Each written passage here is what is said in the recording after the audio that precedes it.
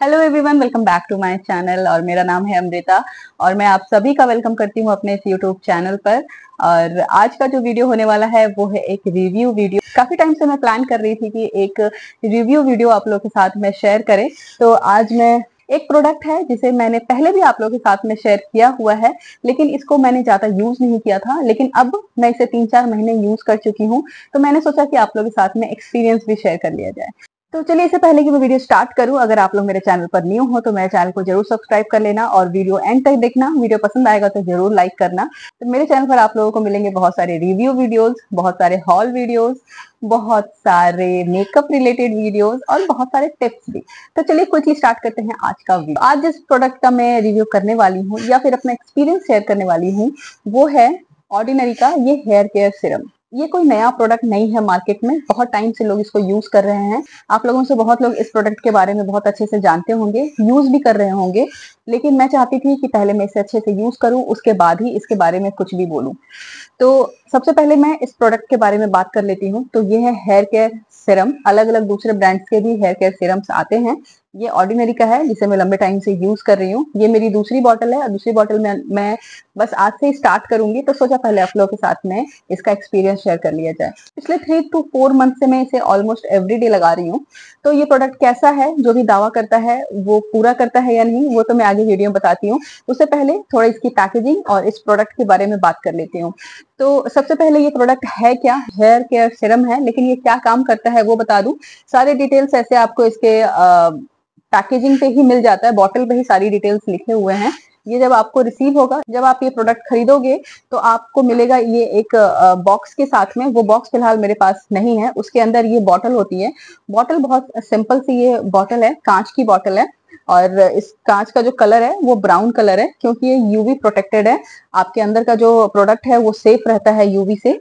और इसके, ये ड्रॉपर इसमें लगा हुआ है ताकि इजी हो लगाना, बहुत इजी हो जाता है आपके स्कैल्प में इसको पहुंचाना।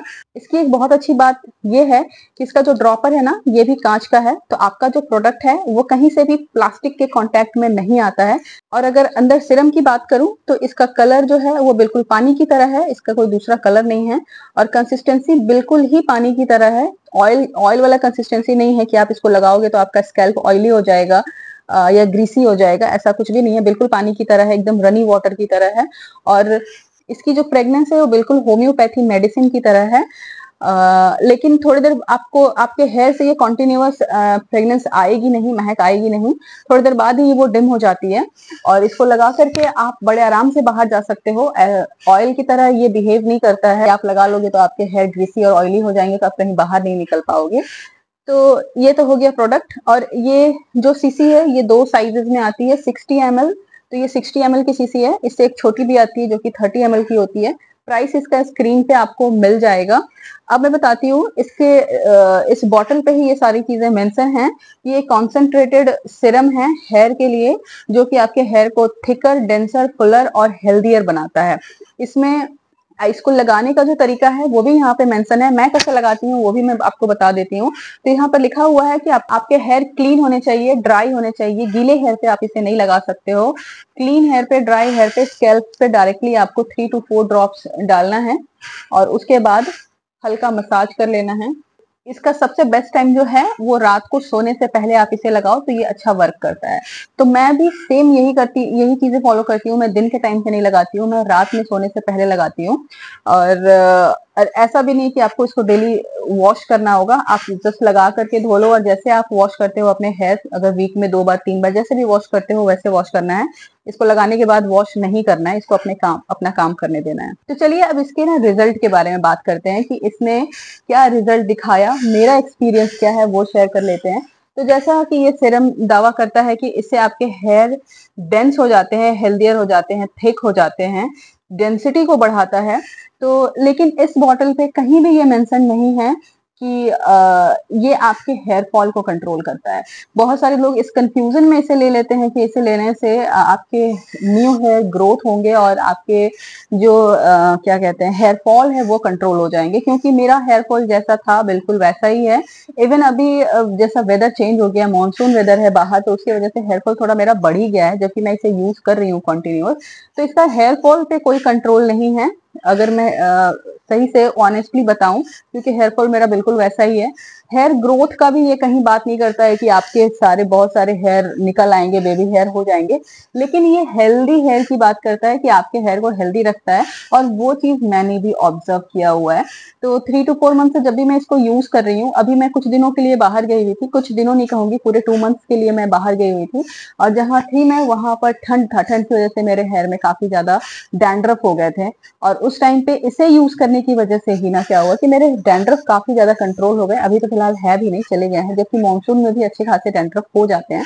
तो इस डैंड्रफ को कंट्रोल करता है और आपका स्कैल्प जो है ना, वो बहुत क्लीन सा रहेगा हेल्दी हेल्दी तो फील होगा। अब मैं ये ऑब्ज़र्व करके नहीं बता पाऊँगी कि हाँ बहुत थिक दिख रहे हैं या बहुत ज़्यादा मेरे हेयर एकदम ग्रोथ होकर के बहुत ज़्यादा डेंसिटी बढ़ गई है। ऐसा तो मुझे कुछ खास फील नहीं हुआ। लेकिन अगर आप इसको डेली यूज़ करते हो तो आपका स्कैल्प हेल्थ अच्छा रहेगा। इससे काफ़ी ज़्यादा हेल्प मिलता है। तो ओवरऑल मेरे लिए जो ये प्रोडक्ट है, वो अच्छा है। आप इसे ट्राई कर सकते हो। कोई साइड इफ़ेक्ट नहीं है। ऐसा नहीं है कि इचीनेस हो गया और एटलीस्ट मुझे तो ऐसा कुछ भी एहसास नहीं हुआ। आप जस्ट आप जब इसको लगाते हो तो आपको लगता है कि आप पानी ही डाल रहे हो, अपनी ठंडा पानी डाल रहे हो अपने सिर के ऊपर में।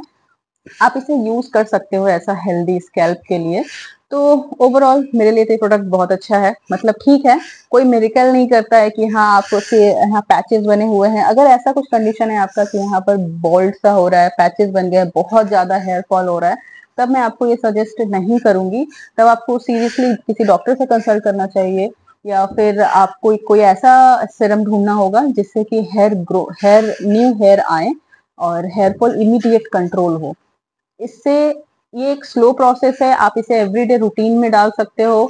जैसे आपको अगर एवरीडे बाहर जाना होता है, गर्मी में पोल्यूशन में, आपके स्केल्प खराब हो जाते हैं इचीनेस होता है, उन सब चीज़ों को ये कंट्रोल करता है। तो एनीवेज तो ये था मेरा ओवरऑल एक्सपीरियंस मैं उतना ही बताऊँगी जितना मैंने फील किया, मैंने महसूस किया।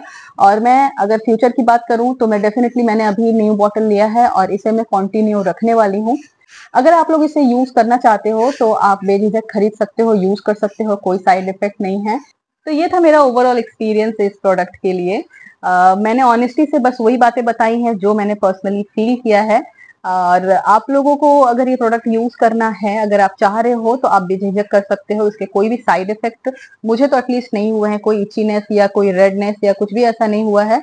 तो आ, कुछ फ़ायदे ही हैं। आपके स्केल्प को हेल्दी बनाता है इसलिए मेरे लिए तो अच्छा है।